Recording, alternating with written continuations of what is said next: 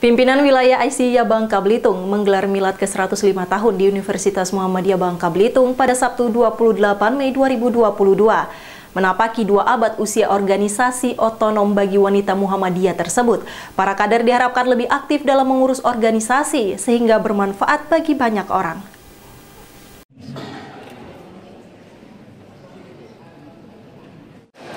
Seremonial peringatan milad ke-105 Aisyah digelar pimpinan wilayah Aisyah Bangka Belitung atau Unmuh Babel di Aula Universitas Muhammadiyah Bangka Belitung Sabtu 28 Mei 2022.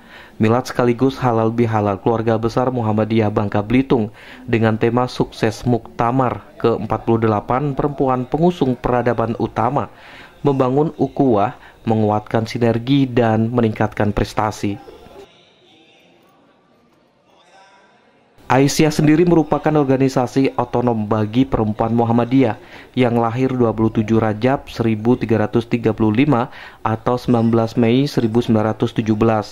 Gerakan Aisyah dari waktu ke waktu terus berkembang dan memberikan manfaat bagi peningkatan dan kemajuan harkat dan martabat perempuan Indonesia.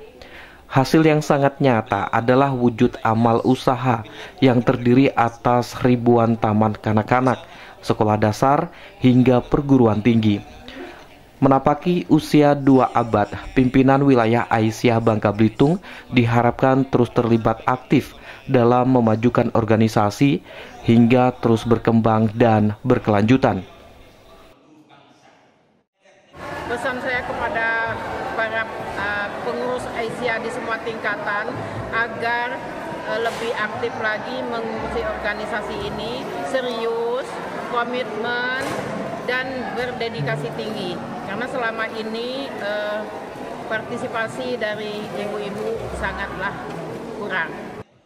Kegiatan serupa diharapkan akan terus dilaksanakan sebagai Sinar Muhammadiyah, organisasi-organisasi Muhammadiyah, siar organisasi amal Muhammadiyah seperti Universitas Muhammadiyah agar dikenal lebih luas.